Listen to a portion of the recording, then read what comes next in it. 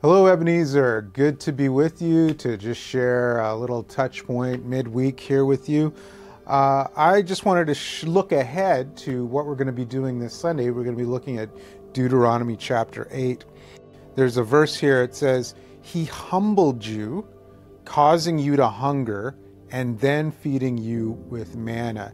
And I was really struck by that. It says, causing you to hunger. That's interesting, right? Like to think that God would cause deficit or deficiency in our lives.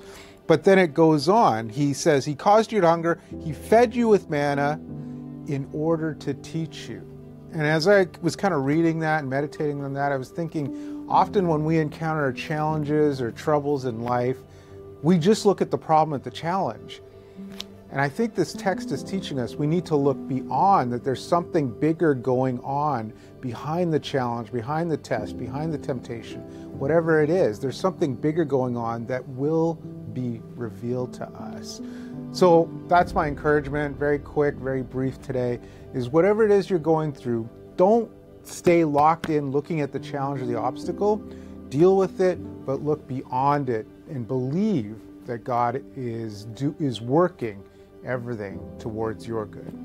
God bless. See you Sunday. Excited for this Sunday.